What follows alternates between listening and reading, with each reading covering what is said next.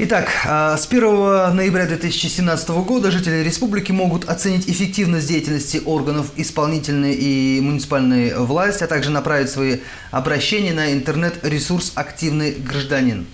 Это такая своего рода электронная книга жалоб и предложений. Создали ее по просьбе главы Бурятии Алексея Тамбовича Цыденова. Но, как считают сами разработчики, это нисколько не книга жалоб, а некая такая платформа для проявления гражданской активности жителей Республики Бурятия. Подробнее об этом мы поговорим с Валерием Владимировичем Андроновым, председателем Комитета информационных технологий администрации главы и правительства Бурятии.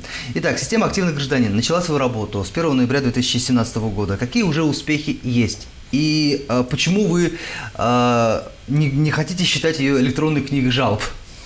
Ну, во-первых, первое по успехам. В настоящее время уже в данной системе зарегистрировались и работают порядка 900 граждан. То есть это довольно, довольно показатель. На 4 недели мы понимаем, что прирост уже свыше 200 человек пользуется. Значит, она является востребованной. А, почему все-таки это не книга а, жалоб и предложений? Потому что все-таки здесь реализованы блоки, где гражданин может выразить оценку, первое. Второе, безусловно, обратиться со своей проблемой, но не обязательно со своей проблемой. То есть мы все живем на территории Республики Бурятия и с какими-то проблемами не касаясь чисто личностного, характера, личностного да? характера, мы всегда встречаемся. Это тоже есть возможность.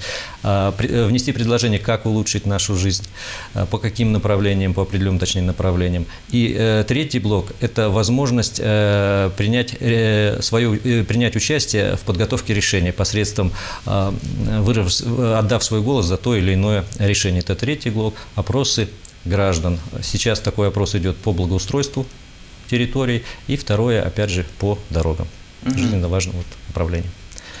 А, скажите мне, пожалуйста, за какой э, временной отрезок э, вот решается проблема гражданина? Вот в том случае, если вот он обратился э, в систему активный гражданин, э, сколько это занимает по времени? Э, по времени понятно, что от обращения э, решения проблемы оно может быть разное. Понятно, что, допустим, если это проблема по дороге, э, то в зимнее время, допустим, решение с тем же асфальтом, оно требует времени. Так Конечно. скажем, или переход времени. За секунду ты не сделаешь. Абсолютно верно, да. Но, тем не менее, мы вот сейчас отслеживаем эту ситуацию. Вот те проблемы допустим, жилищно-коммунального хозяйства, они решаются в среднем где-то 3-4 дня. Ну, наверное, это еще очень хороший показатель, наверное, будет больше, но тем не менее, я вот хочу отметить, э, первое, э, первое у нас обращение через нашу систему э, поступило в ЖУ-6, они решили ну, оперативно, то есть в течение дня они ответили гражданину, как будут решать, в какие угу. сроки, и в течение этих сроков они решили эту проблему, и гражданин поставил свою отметку, что да, его проблема решена. Вот как бы хороший пример. Угу. Ну, прям очень удобно на самом да. деле.